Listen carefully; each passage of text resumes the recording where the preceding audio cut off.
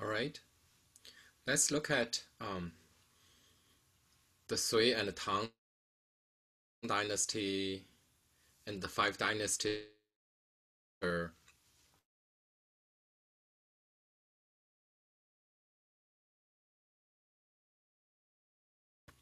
technology and art and how the kind of uh, um, they are integrated with architecture. Um, so that would be the thematic thematic focus of this lecture.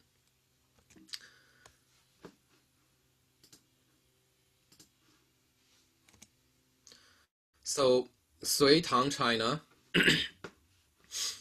um, from 589 to 907. Um, so this map shows the um, the farthest reach of Sui Tang China and uh, with neighboring regimes. For example, the southwest, there was a very powerful kingdom, the Tibetan kingdom, right? The Tibetan kingdom, which was an independent kingdom. and in the uh, Mongolian priory and highland, um, in the seventh, in the sixth century to tenth century, it was the Turks. So back then, the Turks were the um, the ruler of the of this land. Before the Turks was the Xiongnu. Um,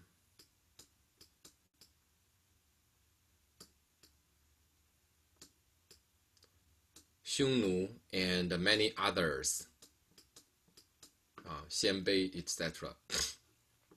After the Turks, um, you know, were the Mongols. So this land had been occupied by different nomadic people, and nomadic people, uh, literally, they do not stay in one place in history. So they migrate, right?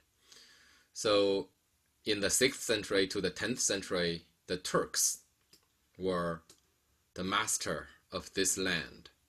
Later, they moved westward and went all the way to today's Turkey. And some of them stayed in Central Asia. um, and then the northeastern regime, we know there was a Bohai kingdom and actually, there were also independent kingdom in the southwest part of China, um, where we have the Nanzhao kingdom. Uh, kingdom, Nanzhao. We will look at a building from Nanzhao. The Nanzhao kingdom.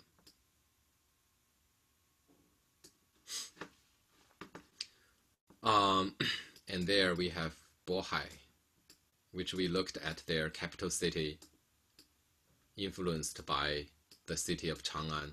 And there we have Japan, right? We look at the Heian-kyo, which is somewhere there. so, um, Sui Tang, China, the the first point I wanted to make is that the wooden structure was advanced greatly during the Tang Dynasty. We know that during the Han Dynasty, previous Han Dynasty, uh, monumental architecture relied on the combination of rammed earth platform and wooden construction. So in order to achieve great height, great scale, an earth core must be constructed and wooden structures surround that earth core and built on top of that earth core hide that earth core up to create an illusion of great interior space. In the Tang Dynasty, that was no longer the case. And the reason is because the wooden construction technology had been advanced to a level that craftsmen could be could construct a great size with just pure wooden construction. And this was the case of the Ming Tang built by a very, very unique ruler in Chinese history, and that is Empress Wu Zetian. Empress Wu was the only female emperor in Chinese history. Right? So that sounds kind of awkward in English, but it is not um, in Chinese because in Chinese there was a difference between an empress as the wife of an emperor and an empress who actually ruled the country. There were numerous empresses in Chinese history who were the wife of emperors, but there was only one empress who actually declared herself as the son of heaven. So, um, you know, she was a female, but she assumed the title of son of heaven, and Wu Zetian was the only ruler, only um, empress who did that. She was the wife of Emperor Gaozong. Um,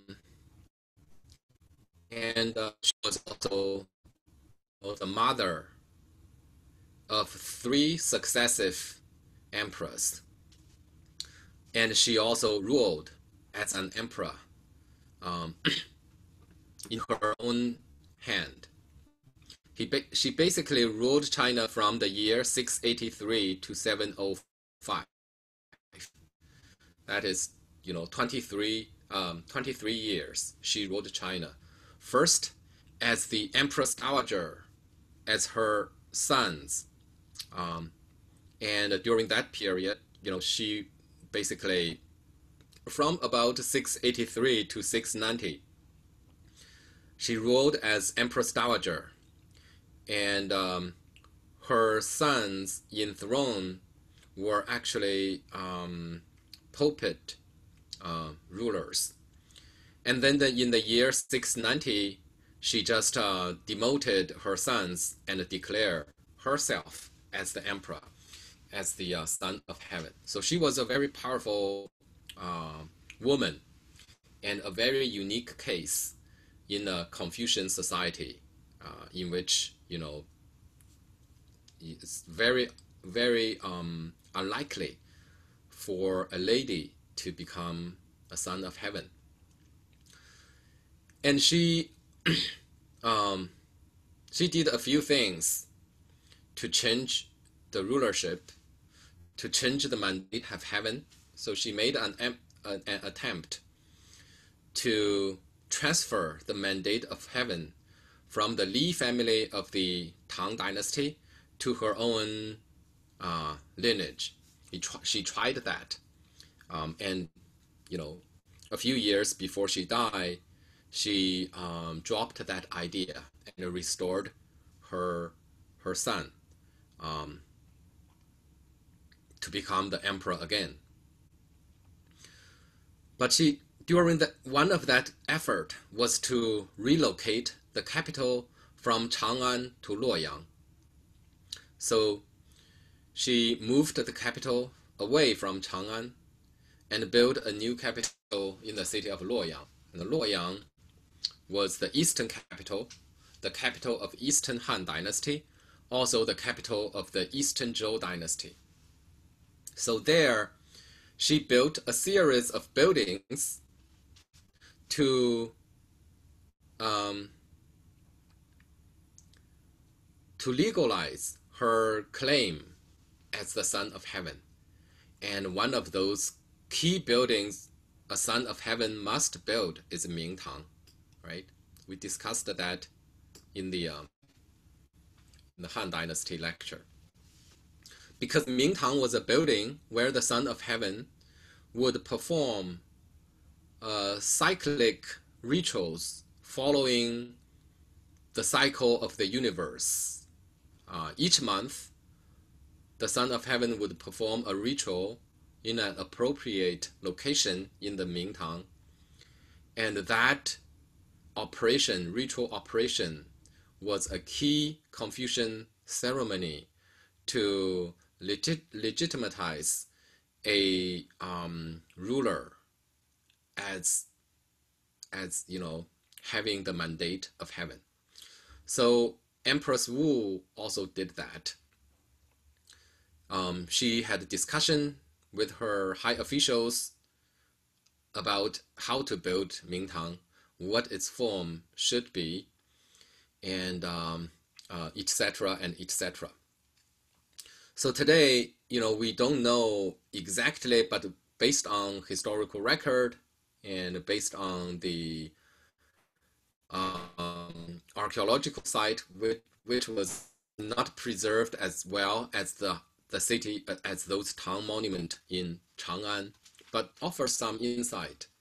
Archaeologists were able to reconstruct the Empress Wu's Mingtang. It featured again square and circle, symbolizing the interaction of heaven and earth, and the emperor as the um, middleman for heaven and earth to rule the people in between.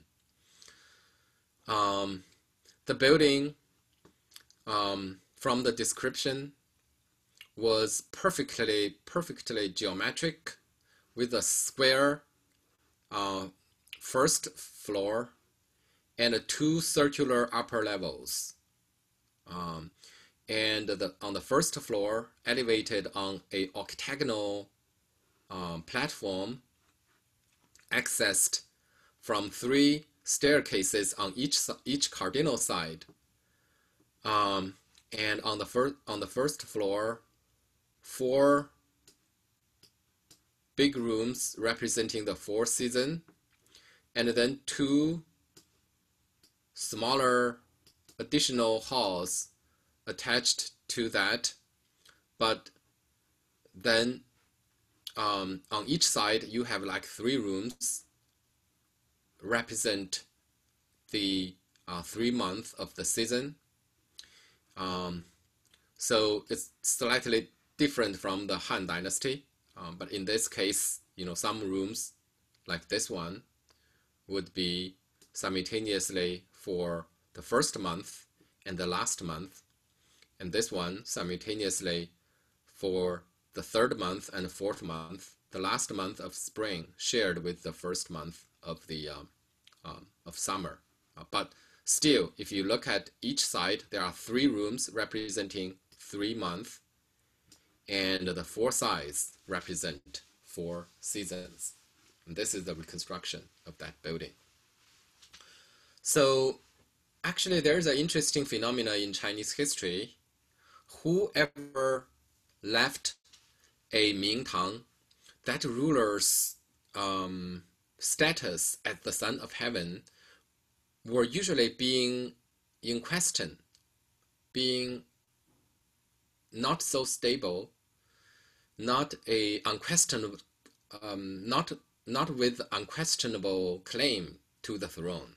It is usually that kind of ruler who uh, most enthusiastically construct Ming Tang, and which is understandable, of course. If someone was unquestionably a son of heaven, he might not actually that um, urgent in need for the construction. Empress Wu built a Mingtang. Um, also, you know, in the Han Dynasty, um, a guy whose family name was different from the um, Han emperor you know, the family name for Han Dynasty emperor was Liu, but a guy whose name is Wang Mang, who um, family name is Wang, claimed to be an emperor during Han Dynasty, and he also built that famous kind of Han Dynasty Mingtang.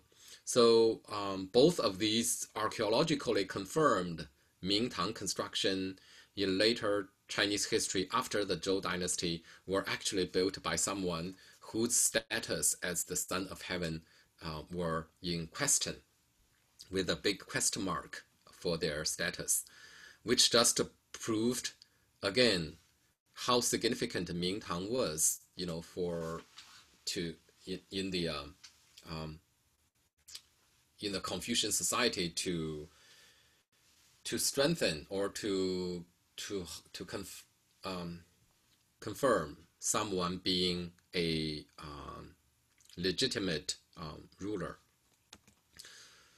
And that's the Han Dynasty Mingtang built by Wang Mang. Um, and this is the Tang Dynasty Mingtang built by uh, Wu Zetian. So I write you the. Uh, this is the uh, Tang imperial family name, but the the guy who actually built it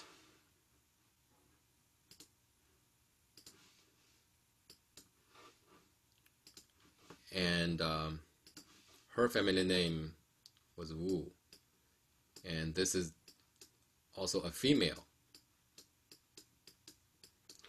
And the um, Han Dynasty Empress family name was Liu. But the guy who built this Ming Mingtang, his family name was Wang. So um, both Mingtang were constructed by someone who claimed to be the son of heaven, but whose claim was actually, you know, not not quite legitimate. Um, Han Dynasty Mingtang, Tang Tang Dynasty Mingtang, the major difference, you know, they share a lot of similarity both are concentric, feature circle and square, and uh, you know rooms representing seasons and months um, to be performed with ritual. The key difference, of course, is the Han Dynasty Ming Tang has an earth core. Tang Dynasty, it was a pure wooden structure. Whatever you see from outside it represents the scale of the interior space. There was a big interior space, but that was not the case for the Han Dynasty Mingtang. Right, from outside, looks pretty big, but the interior was not that big, uh, and that's that's you know the point here. Um, Tang Dynasty constructing large scale pure wooden structure became possible. And uh, gradually, that Taixie typology disappeared in Chinese his, in Chinese architecture. The Taixie or high platform architecture um, basically disappeared after the Tang Dynasty. Um, and uh, from Tang Dynasty on, pure wooden construction just elevated on a platform instead of being combined with a platform became the mainstream in um, in traditional Chinese architecture. Um, Empress Wu built big. You know, she she ruled China for a long time, directly ruling China for two decades and more. And uh, according to historical record, you know, her husband Gaozong was very sick toward the later period of her reign, and Empress Wu were actually doing the imperial, managing the imperial business while her husband was still alive. Basically, in in the sixth um, 660s and 670s, she was already, you know, performing um, the job of an emperor. And, um, you know, she built up her network, and a lot of officials became loyal to her already. And uh, as soon as her husband died, you know, she, you know, basically, literally uh, run the country in her own hand um, with her son as puppet emperor, and later she just dethroned her sons and became an emperor on her own. You know, take the empire in her own hands. She, um, you know, I I mentioned that she tried to make a difference from the previous Tang dynasty. Um, she relocated the capital. She also tried to shift the imperial ideology from Taoism to Buddhism. Well, I mentioned early early Tang emperors were pretty much Taoists. Uh, at, at least they claim so. Empress Wu was a enthusiastic sponsor of Buddhism in China. And she also published a sutra that hinted she was a reincarnation of a Buddha. And she sponsored this monumental cave at Longmen, which is very close to Luoyang, the new capital, um, you know, Empress Wu moved to, the eastern capital. So this gigantic Buddha, you can tell its scale, 44 feet high, uh, by comparing to human scale. And this is um, according to uh, you know historical anecdotes. Um, Empress Wu donated her um, her you know cosmetic um, you know the, the, the money she used to spend to dress her up um, to build this this one. You know, she obviously spent a lot of money to dress up. Um, so this is an enormous cave, um, and uh, it was said also that the face of this Buddha looks like Empress Wu. This, like the Northern Wei Buddhist cave at Yungang, used to be the end part of a temple. There were wooden structure attached to it to form a covered space. So this is used to be a Buddha hall. And those holes in the wall used to be inserted with beams to be supported by columns in front. And there used to be a roof extending from that mountainside. And so you should imagine that originally you won't be able to see the statue like that. You have to enter from the wooden gate and entering a wooden hall. And that size, the interior space, uh, you know, the interior space to shelter a statue 44 feet high, that is a big wooden hall. And that is obviously cannot with an earth core. So which, again, even though the wooden building disappeared um, after more than a thousand years, it testified the high you know, level technology of pure wooden construction. They were capable of building big architecture um, in the Tang Dynasty. And the, the sculpture were absolutely, you know, beautiful um, and very sophisticated. So we will stop here